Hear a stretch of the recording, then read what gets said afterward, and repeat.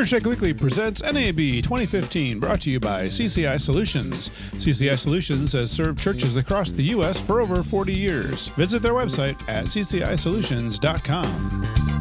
Alrighty, here we are at uh, NAB 2015, and uh, as you would expect uh, from us at a video show, we find the audio products because, you know, we're really audio guys and nothing's really more interesting. That's true. So uh, big news came out today that uh, Yamaha introduced a whole new lineup of products, the TF 1, 3, and 5. And uh, we just kind of got the rundown from them from Jake here, and uh, we're going to give you guys the rundown. I and I'll tell you right off the bat, I'm impressed with these things. So, uh, Jake Cody from Yamaha, give us the uh, give us the nickel tour. All right, so man, these things are killer. We're really excited about them a ton of really new, uh, we think industry changing features are uh, introduced here in the TF series. We got a lot of things like uh, Gain Finder, which is not necessarily an auto gain, but a really clear visual way to help you get back to the same input levels that you had when you recalled your scene originally. If you can imagine, you recall your scene and it sounds great, but if the input level isn't hitting the same number, all your thresholds, everything for your comps and gates is all screwed up.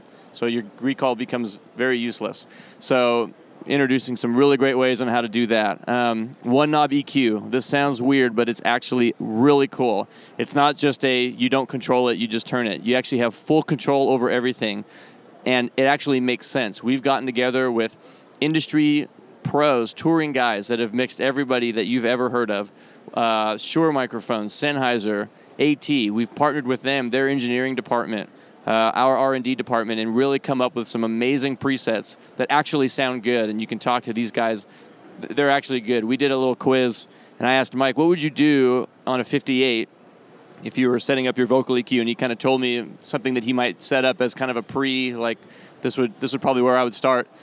And the one knob actually did exactly that. It was pretty amazing. And uh, but the cool thing is, is that you can actually fine tune it and readjust it and save that as your new preset. So now Jake's EQ for my kick drum in my room in my PA is actually the exact way that I want it, and I can still one knob to that. Unbelievable. Um, one knob uh, compressing uh, compressors as well, really killer. Um, eight multi-effect processors on board. You've got user-defined keys, user-defined knobs. Um, you've got the scribble strips, the channel colors. You've got eight DCAs. This will mix uh, 40 channels, right? Not including your stereo inputs and your effects returns. Um, you can hook up up to 10 iPads and iPhones at the same time, all controlling a stage mix or a new monitor mix application that we're introducing. Uh, the monitor mix app, you can lock out and have it be just on one specific output on the console, and you can dial it in. You can create groups, your own groups on the app. Really amazing. You can have all those connected as well as having your computer connected at the same time with the editor software. So 11 devices. It's really amazing. You have um, a USB port on the back so that you can record uh, 34 channels to your computer, record and play back simultaneously. Uh, so your virtual sound check, all that is still intact um, right out of the box.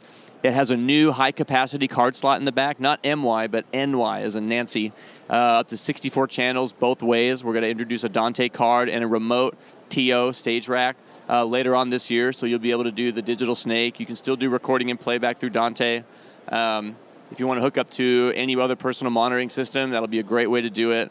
Uh, this is just absolutely an incredible uh, new product here. And um, you've got 20 AUX outputs right here, plus two effects dedicated outputs, a stereo output, and then also uh, a bonus mix, basically a uh, for your for your sub output. But you can use it for anything. So really, we're talking about uh, 20, 21, 22, 23 custom mixable outputs, not including your stereo outputs that you can use for whatever. You can make them stereo if you like. Um, really, I don't know, just some killer stuff. Yeah, it's a great console. Lots, lots, of, lots of features. But I think the most amazing thing for me you know, this there's some great industry-changing features here. The one knob is actually functional. That's really cool. The one knob compression, EQ, all that, very very cool. The presets, all very cool. Um, what is amazing about this console more than anything else is the price point. So we've got three consoles here: the TF1, 2, and 3. Uh, give us a rundown on the uh, price points of that. Yeah, so the uh, the three models, the TF5 is the biggest one. Uh, 40 inputs, like I said before. You got all the outputs. Um, map pricing on this. Uh, is going to be $3,600. So really affordable. The TF3 um, can mix the same amount of inputs and outputs. It just has less faders, um, $3,000. And then of course the little one, the rack mountable one, 32 channels, same outputs, uh, $2,500. So really, really, uh, really affordable. Yeah.